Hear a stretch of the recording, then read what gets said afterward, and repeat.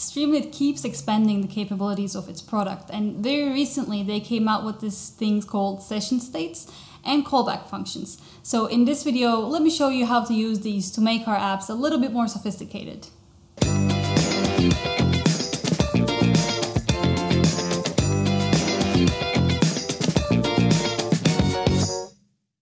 Right, let's get into it. So I listened to your feedback. Some of you told me that my font size was too small, so I increased it. I hope this is more readable now. Uh, what we do with session states is basically you are creating a variable that will be available through reruns of the app. So for example, when you change something in the app, you see here in this corner that this little thing that says running, right? So normally when you have variables, when you define variables on Streamlit, the whole app or, the whole code gets run from the beginning to end. So if I create a variable here uh, saying that a equals to 5, even if I update it somewhere here, when I change something, the app gets run from the beginning. So a is equal to 5 again. So the change that you did in the middle of the code will be gone. So this is a what session states is trying to solve basically. Uh, how we do it, so I'll just show you first what we're going to do. So let's say we have a data frame and we want to see fewer or more columns of the data frame and then you know then I can click this and show fewer columns or more columns as I see fit. So how I do this is basically I am defining a variable, but this variable belongs in the session state variable of the Streamlit uh, library. So Streamlit library has a session state, and inside the session state, you can create variables that you like, like this. Uh, you can also do it like this, just so you know. I prefer it in kind of like a dictionary way. But you can just do this and also, you know, say that equals to 10, whatever. Uh, but I prefer doing do the, the first line, like as in the first line. And uh, after you do this, this is basically run only one time. It's actually pretty like hard coded. You can see you're saying if number of rows already exists in the session state, then you do not create this. That's why this only gets run in the first run. Uh, as, as I said, this is get this gets run every time from the beginning to end when you rerun the app or you change something in the app or the user inputs something new. Uh, but because we say if only this doesn't exist, then run this, this only gets run in the first time.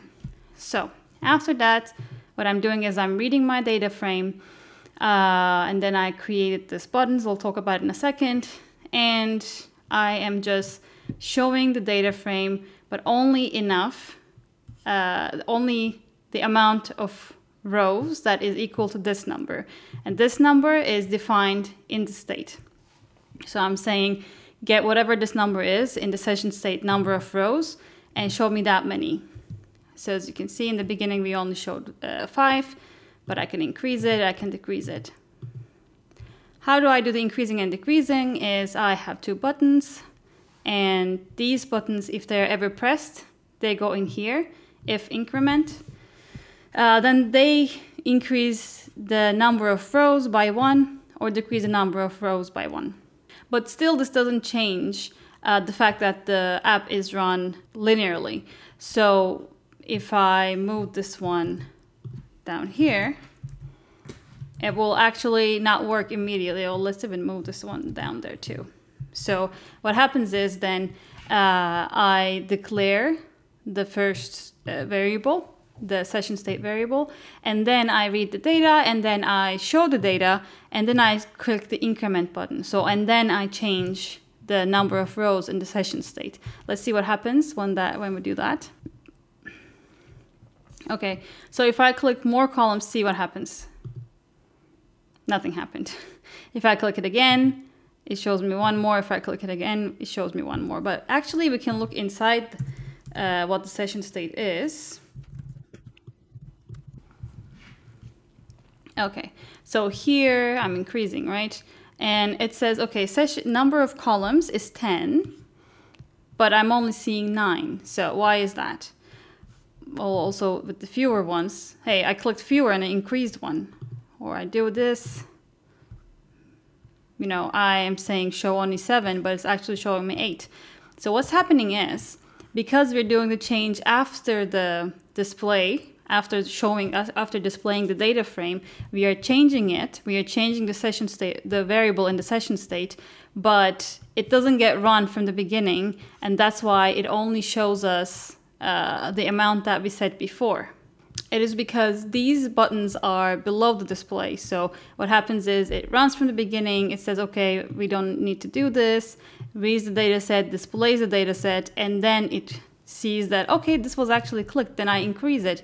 But it stops here. And then it says, okay, end of code, don't have to do anything else. And then when you click again, it starts from the beginning. But then again, this is at the end, so it doesn't work. So that's why I will put this back before the display. But there's actually a very nice way of how you can make changes even after you display something and then have it affect the display. And that we do with the callback functions. So I'll show you it in a different example. So this one.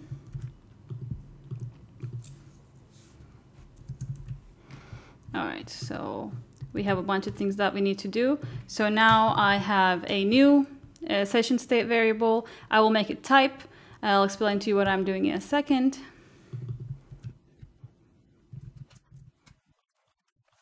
Okay, so let's see what it looks like now. Okay, this is the first bit that we did. Let's say in the second section, what I'm trying to do is, let's say I have six uh, columns, right? Some of these are categorical columns and some of these are numerical columns. So for example, passenger count, trip distance, fare amount are all numerical columns. They are continuous. They can be any number. Uh, but a look, pickup location ID, drop-off location ID, and payment type are actually categorical, even though they are not ABC or a text. They can actually only be a certain number of things, and also they do not have the relationship of you know 239 is bigger than 193. They're just different locations. Uh, so they do not have a numerical relationship between them. So let's say I want to look into the distribution of these um, columns specifically. One way I can do it is I can look into the categorical ones. Uh, for the categorical ones, I want to do a uh, histogram. I want to be able to see the distribution of them. Uh, for numerical ones, I just want to see the mean, standard deviation, minimum, maximum, etc. So stuff like that. Uh, how we can do this is basically using callbacks. But before we start using callbacks, I'll show you how you would do this without using the callbacks and why it would not work. So let's say I want to do this, right? Okay, so I'm saying the categorical ones are these three, numerical ones are these three, uh, and those are the ones that I can select from here. And maybe after selecting which column I want to look into, then I want to decide what kind of analysis I want to do on them. Uh, but I can only do numerical analysis on numerical ones and categorical analysis on categorical ones. So that's why, depending on what I choose here, this list should change to show me the other uh, list of columns. Um, if I did this immediately, what it would look like is, okay, I'm creating a radio uh, input and basically when it looks like this, it's like radio box or radio select box, something like that. Uh, I'm saying, okay, tell me what kind of analysis do you want, categorical or numerical? And depending on what the user chooses, I am saying, okay, change the session state type to this one. So let's see if this works. I'm changing it to categorical, but it actually changes this, this is, these are the numerical ones. changing it to numerical. So this works. This, this looks like the numerical one, but this, these are actually categorical ones. So it does categor numerical analysis on categorical features. This is exactly the opposite, opposite of what I want. Uh, and this is the problem that we had previously here, right? If I put these inputs before or after the table, then the problem is that the, the change happens, but it does not actually occur in the display that we want it to happen. So here, in this case. Um, that's why you cannot do this this way. That's why you need to use callback functions. How you do that is like this. So instead of this one, I'll show you this one. This is one way of doing it. So here, I'm just reading what the user said, categorical numerical. So instead of uh, saying that, okay, this is the session state type variable now. I'm saying, okay, this is just some variable. And this variable is going to go into a function called handle click when a button is clicked. And this function looks like this.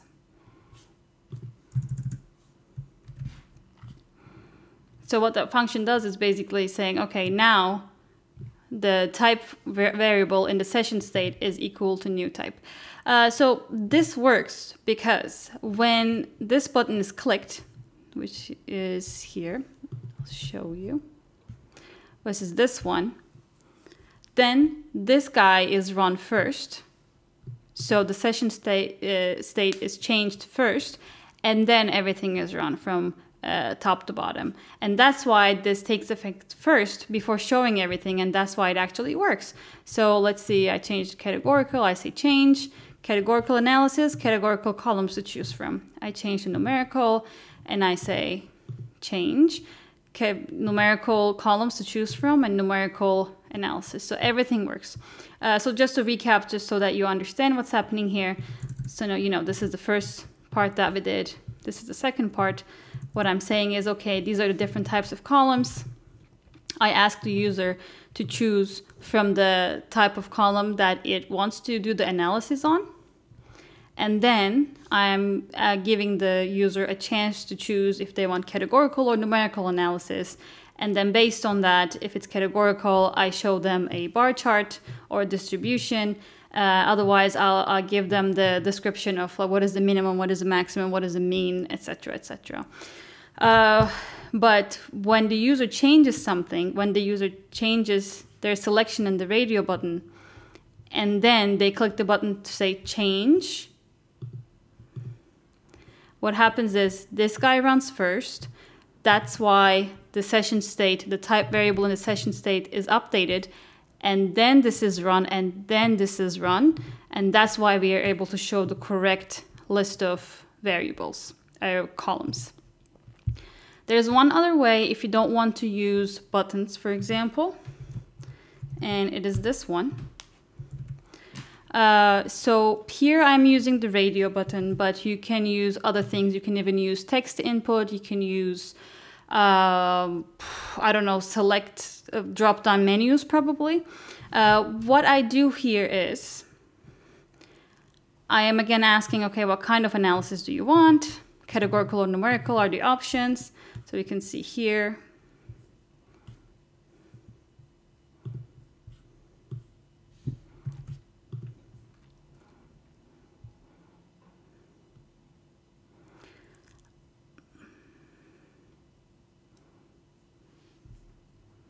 Oh yeah, so we also need the we, need a different function for this one. I'll explain in a second. Uh, yeah, so we can see here now that we don't have the button. And uh, what I do is instead of saying on click run this function, this is the callback function, I am saying this just has a different uh, syntax, but it does the same thing.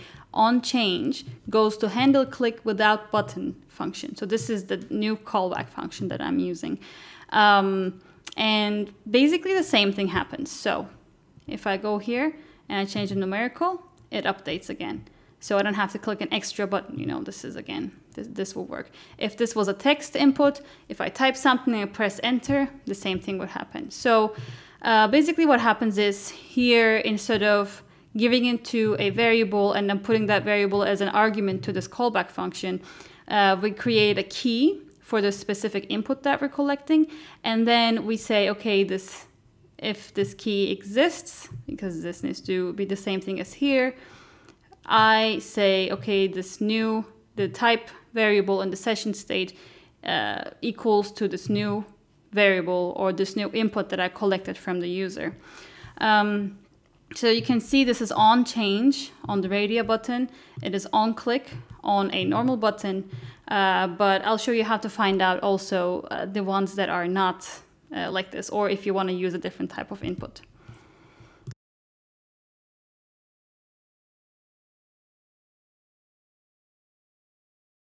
So, you know, we can go to text input, for example, and you can see here on change again.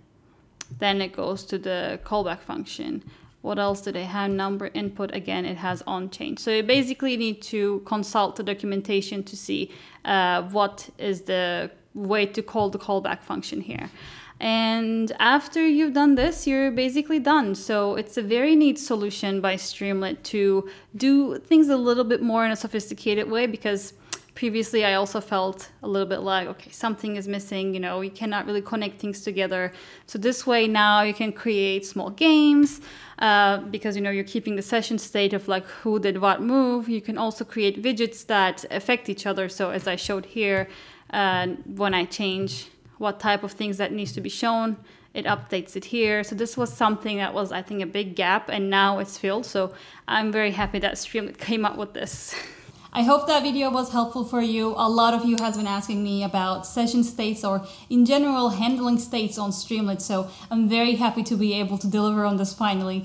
If you want to also create your own first Streamlit app or you kind of want a little bit more help on handling Streamlit, go and check out my free Streamlit template that will get you to make your first app with Streamlit in a matter of hours. Maybe not even hours, like minutes. So uh, go and check that one out. I'll leave it in the description and have a nice day. I'll see you around.